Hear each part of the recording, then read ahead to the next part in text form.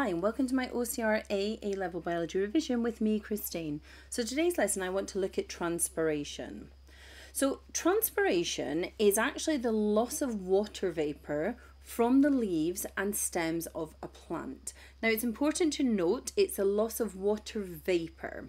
So what we need to understand is how is this water vapour, this gas, lost from the leaves. So it's actually inevitable consequence of gas exchange.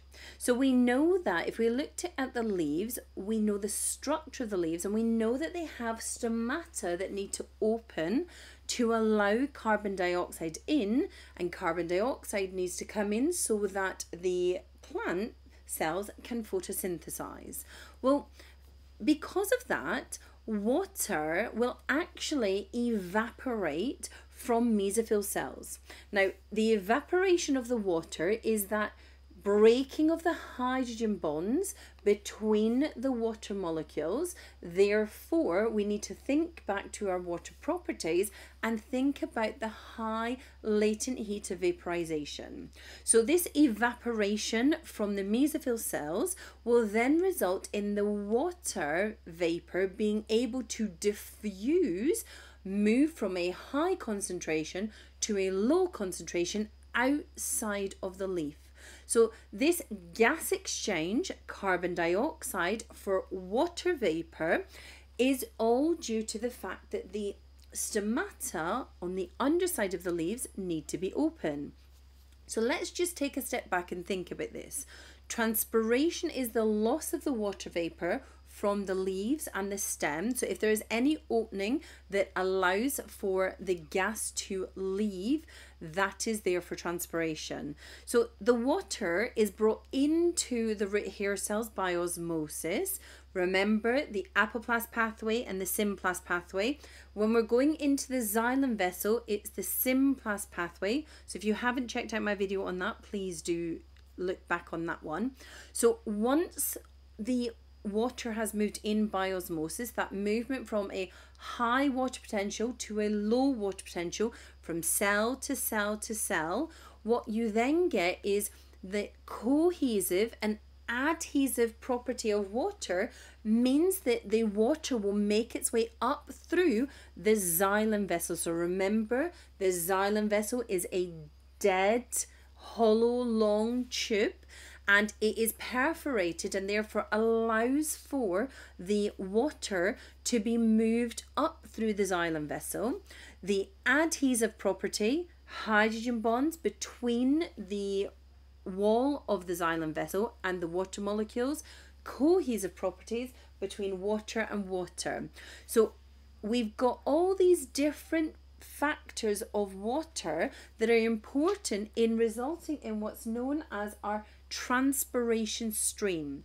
So the transpiration stream is the movement of the water from the roots all the way up the xylem vessel to the leaves. Transpiration is the loss of that water from the leaves. So the water vapor being lost out of the stomata. So let's take a look at the stomata then and how is the stomata open and how does the stomata close? So at different points throughout the day, the plant will either have open stomata or closed stomata. Now that's going to affect the rate in transpiration. So how does the plant actually open and close it? Well, it's actually to do with mineral ions. So potassium ions are actively transported into guard cells.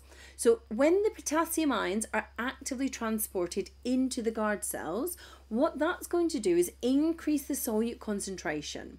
So if we're increasing the solute concentration, we're therefore going to be lowering the water potential. That therefore means that water is going to move into the guard cells down their water potential gradient and as they're moving in by osmosis that's going to make the guard cells turgid. Now the guard cells have a thicker wall on one side of the cell compared to the other and what that does is that causes as the cell gets turgid that causes the cell to end up with this shape which opens the stomata. Now, if we go on the opposite side of things, if we want to close the stomata, this is where the potassium ions are this time actively transported out of the guard cells. We're decreasing the solute concentration, raising that water potential, so water is going to leave. Water will leave because it's going to move down its water potential gradient. It will leave by osmosis. As the cells, the guard cells become flaccid, they've lost that water. That causes them to move closer together and to close. So it's important to note, and you'll learn more about this when you look at plant response, is that the plant can actually signal for the stomata to be closed. And that comes down to the hormone ABA. So abscisic acid is a hormone you're going to learn about in module 5, plant response. And what that does is that stimulates the stomatal closing.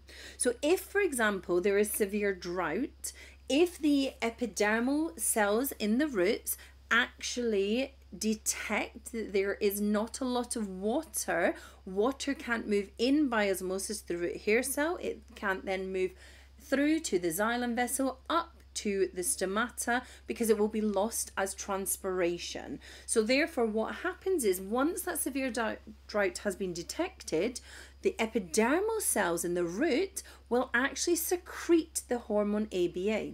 So this secretion of this abscisic acid will then travel up the xylem vessel and bind to receptors in the guard cell, therefore causing the guard cells to actively transport the potassium ions out. So what you have to understand is transpiration is a inevitable consequence of photosynthesis but if the plant is detecting that there is an environmental concern, that there is some way in which the cells could be damaged, it can actually result in the stomata being closed. So how do we measure this? This is a question that they love to throw at you in the exam. So you should know that if we're going to measure the rate of transpiration, we're going to do that using a potometer. So what we would do is we would take our plant, our leafy shoot, and what we would then do is we would insert that into a rubber tubing. Now it's important to note that when we insert this into the rubber tubing, we would do it underwater to ensure that our column of water has no air bubbles in it. So we always take our leafy shoot and we place it into water before we are going to insert it into the rubber tubing. We want to ensure that there is no air bubbles anywhere within our potometer except in one place. That is within our air water meniscus.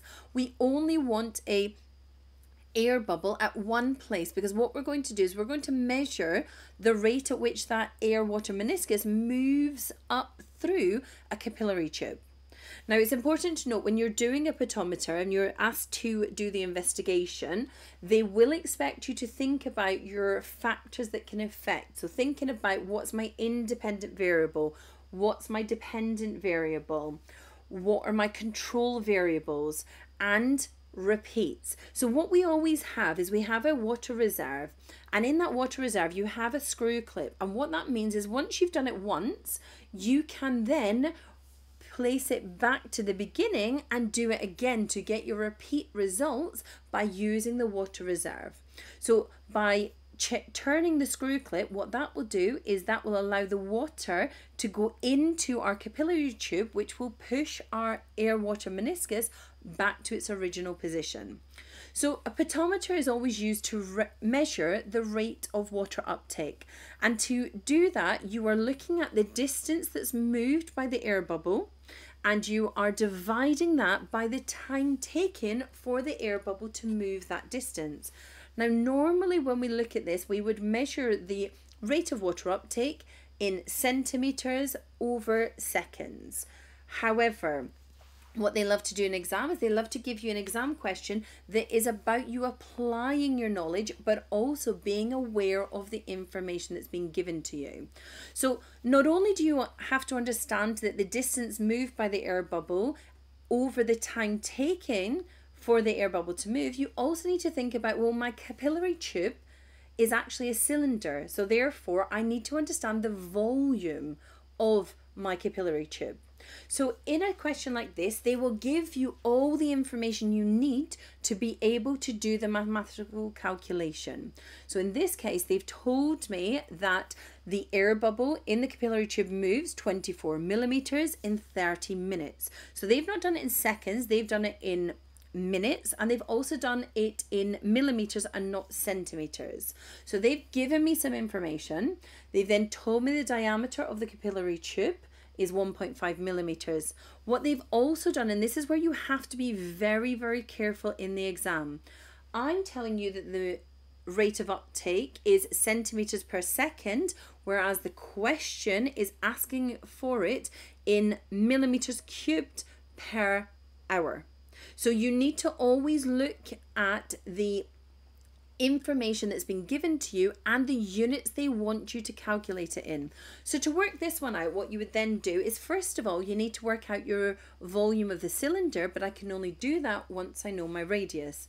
So I take my radius, which I'm told my diameter is 1.5, so divide that by 2, that will give me that my radius is 0.75. Now the next thing I need to do is I need to square that. So if I square my radius, I get 0.5625. I now need to put that into my volume equation.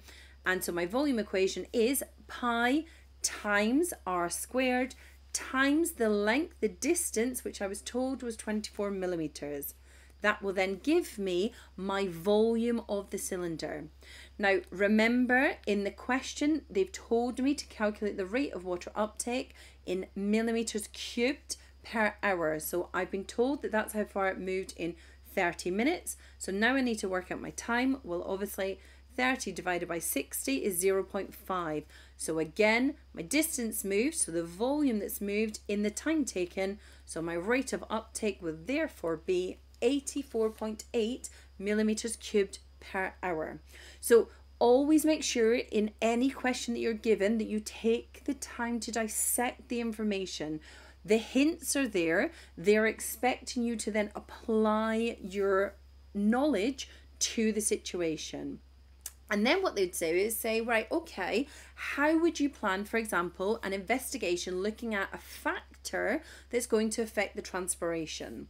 So transpiration was this loss of water vapor. So then I have to think about, well, what could affect the rate at which water would be lost? And remember, we're talking about water vapor, the gas. So the first thing we say is, well, water vapor, this transpiration is an inevitable consequence of gas exchange. So what was the gas exchange caused by? Oh yes, it was caused by light. So if there is a lot of light, if the plant is going to be doing lots of photosynthesis, you would expect lots of stomata to be open. Therefore, you would then expect there to be a higher rate of transpiration because there's an increased number of stomata opening there would therefore be an increased loss of the water vapor. So light can be a factor. Now, light can actually be a factor that would close the stomata if there was too much light, because light, not only do we end up with light, but we end up with heat coming from the sun. So if there's too much sunlight, there will be lots of heat energy, and that could actually result in a drought. So there are other ways they could ask the question. So you have to try and think outside of the box sometimes. But the first thing, if it's talking about light, light, you say photosynthesis, Photosynthesis, more carbon dioxide, more carbon dioxide, increased number of stomata opening. Now, as I said before, we're talking about light and sunlight. We're not just talking about light, we're talking about heat, we're talking about temperature. So if we have a change in temperature, if we increase the temperature, we would therefore expect there to be an increased rate of transpiration because you've got more evaporation more evaporation, more breaking of the bonds. That therefore would mean that there is a more kinetic energy in the water vapor, therefore, they can diffuse at a faster rate, increase the temperature, more evaporation, more diffusion, increased loss. more temperature, more kinetic energy. So you you want to bring in your GCSE knowledge here and always thinking temperature, kinetic energy. So that could be a way in which you are assessing a factor that would affect the rate of transpiration. So for example, if I were to plan an investigation looking at temperature, I would have my independent variable, which would be five different temperatures. So it could be five degrees, it could be 10 degrees, 15, 20, 25. So that could be a way in which I look at it, but I've not got very big range in my temperature. So I would probably jump it more from 10 to 20 to 30 to 40 to 50 to see the effect of temperature on that rate of transpiration. The other thing that would have an, an effect on the rate of transpiration would be humidity. So, humidity is talking about how much water vapor is actually in the atmosphere.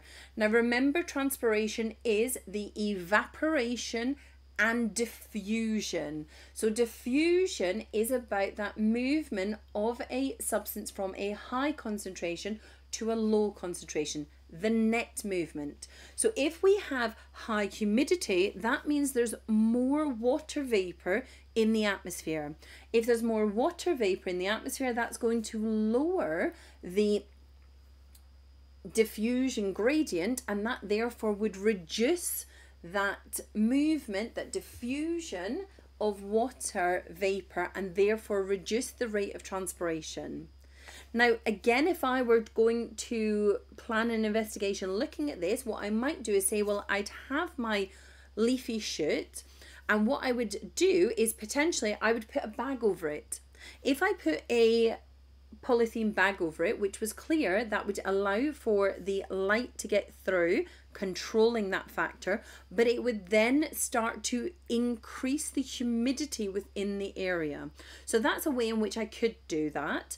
What I could also do is I could use, for example, a fan at different speeds and how wind has an effect on the humidity because obviously if there's more wind that would push more water vapor away that would increase that concentration gradient and therefore I'd expect the transpiration rate to increase. So whatever they give you as an example it's important that you think logically what is transpiration? Evaporation, and diffusion. So, what am I affecting? Am I affecting the evaporation part of it, or am I affecting the transpiration, or am I affecting the diffusion part of it? So if you like this video, then please do click on the like button and subscribe to my channel. Also, if you haven't done so already, please do check out my revision platform, www.aiqchat.com to help you to revise.